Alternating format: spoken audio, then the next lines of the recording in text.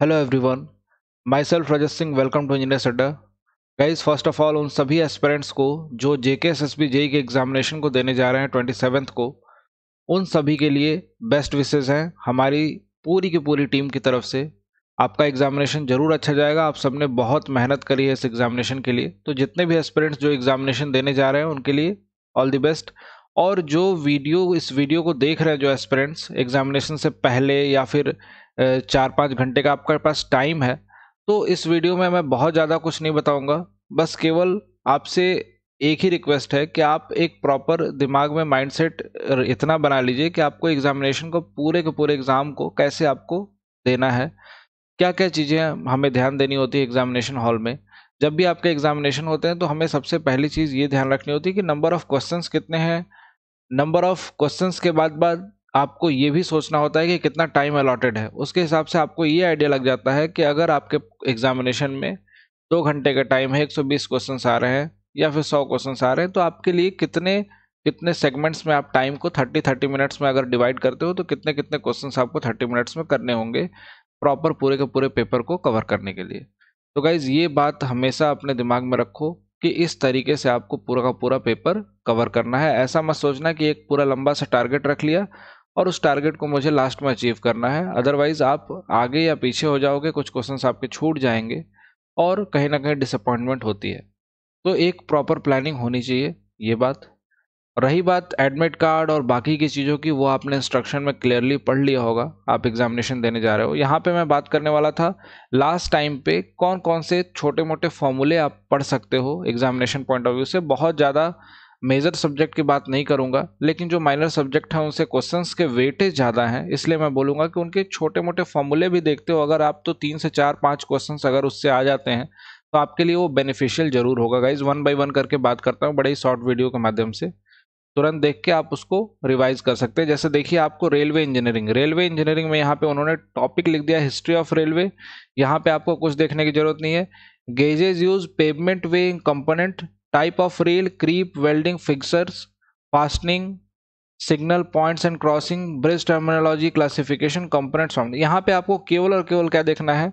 यहाँ पे पेमेंट यहाँ पे लिखा है ना गेजेस यूज्ड गेजेस आपको पता ही होगा, आपने पढ़ा है तो इसको देख सकते हो।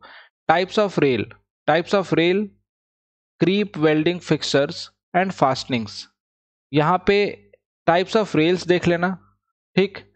और यहाँ पे रेल फिक्सर्स ये देख लीजिएगा, यहाँ से क्वेश्चन आपसे पूछे जा सकते हैं।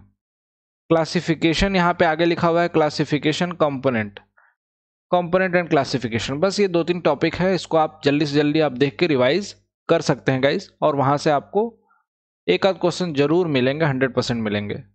टेन मार्क्स का वेटेज है, छोटा सा सब्जेक्ट है, इसको आप देख सकते हैं। Construction management construction planning and management, CPM and PERT से भी क्वेश्चंस आपको देखने को मिलेंगे।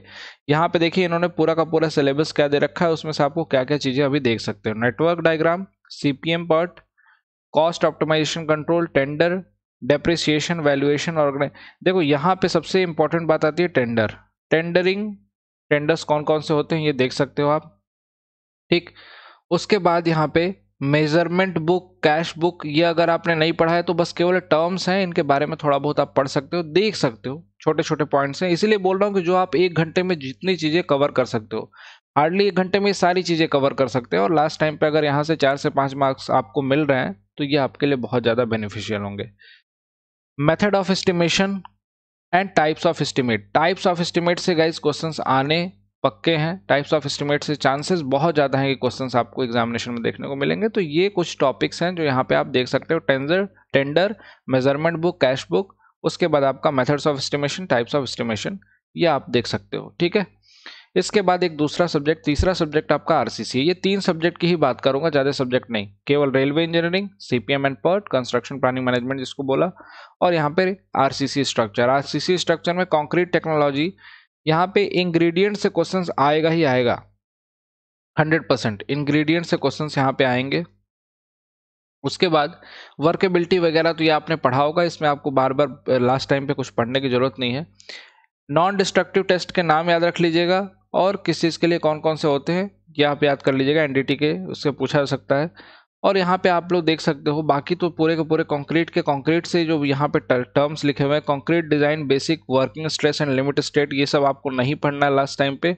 Analysis of ultimate load member subjected to flexure shear compression torsion यहाँ पे ये सब कुछ नहीं रिवाइज करना है, यहाँ पे हाँ देखिए वन वे और टू वे स्लैब लास्ट में लिखा है ना one way and two way slab one way and two way slab के क्राइटेरिया कोडल प्रोविजंस फॉर्मूलेज वगैरह आप देख सकते हो, ठीक है?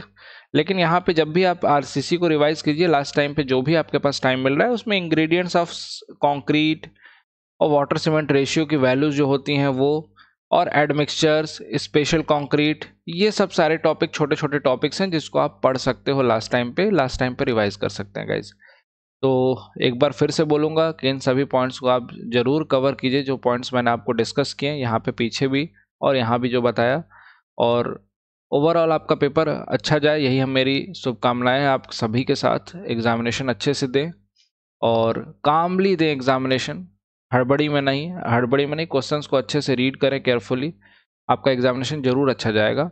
और जो भी बच्चे हैं, जो एग्जामिनेशन देने जा रहे हैं, उन सभी ने दूसरा फॉर्म भी फिल किया होगा। नो डाउट मैं मानता हूँ कि कई बच्चों ने फिल नहीं किया होगा फॉर्म फिल करेंगे, जो अभी आपका रिसेंट वैकेंसी आई हुई है जेके एस जेई के लिए।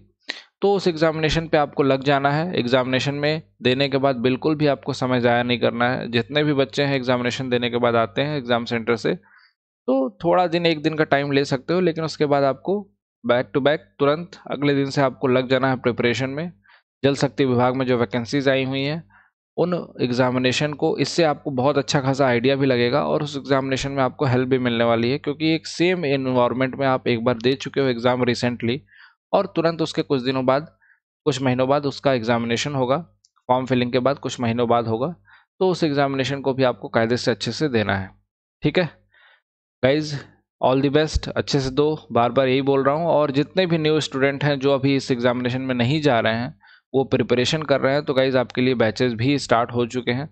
ज़रूर बैचेस ज्वाइन करके एक सिस्टमेटिक वे में आप अपनी क्लासेस को स्टार्ट करिए, पढ़िए। अदरवाइज़ एग्जामिनेशन जो है एग्जामिनेशन का लेवल जो है वो डे बाई डे आपको भी पता है कि बढ़ता जा रहा है। आपको एक मेंटर की ज़रूरत है। अगर आपको कंसेप्ट में डाउट है कंसेप्ट सीखना है तो पेड बैचेस में आप प्रॉपर क्लासेस ले सकते हैं। पेड बैचेस के बारे में आपको बता देता हूँ। पेड बैचेस अवेलेबल है। JK S S B J civil engineering का। इसमें सिविल इंजीनियरिंग के सारे के सारे टेक्निकल सब्जेक्ट आपको कराए जाएँगे। ये बैच ऑलरेडी स्टार्ट कर दिया गया है।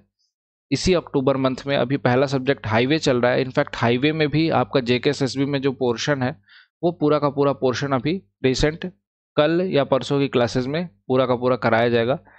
तो ये पर्टिकुलर बैच आपके लिए बेनिफिशियल होगा। बहुत बेस्ट बैच है। ज्वाइन करना बड़ा ही सिंपल है और बहुत ही मिनिमम प्राइस में भी दिया जा रहा है। जितने भी एस्पिरेंट्स इस वीडियो को देख रहे हैं, ज़रूर ज्वाइन करके अपनी क्लासेस को कंप्लीट करिए। अड्डा ट्वेंटी फोर सेवन के एप्लीकेशन को डाउनलोड करो। सर्च करो J K S S B JE उसमें ऊपर सर्च बॉक्स में civil engineering J K S S B JE ये पर्टिकुलर लोगो आपको दिखाई देगा गाइज़ वहाँ पे जाने के बाद आपको प्राइस जो दिखाई देगी वो कुछ ज़्यादा होगी। प्राइस में उसमें आपको वाई टू नाइन थ्री ये पर्टिकुलर कूपन कोड लगाने का ऑप्शन आएगा। जैसे इस कूपन कोड को इंसर्ट करोगे, आपको मैक्सिमम डिस्काउंट जितना मिल सकता है वो मिल जाएगा। 78 परसेंट का डिस्काउंट एप्लीकेशन पे मिल जाएगा। यहाँ पे ऊपर भी लिख रखा है मैंने ये कोड इस कूपन कोड को अप्लाई कीजिए। You will get the maximum discount और पूरी की पूरी टेक्निकल क्लासेस को स्मूथली आपको ऐप में और लैपटॉप से भी देख सकते हो, आप कंडक्ट कर सकते हैं, देख सकते हैं पूरी की पूरी नोट्स बना सकते हैं प्रॉपर और अपनी प्रिपरेशन जर्नी को आसान बना सकते हैं। थैंक यू गाइज़ मिलते हैं आपसे फिर नेक्स्ट वीडियो में।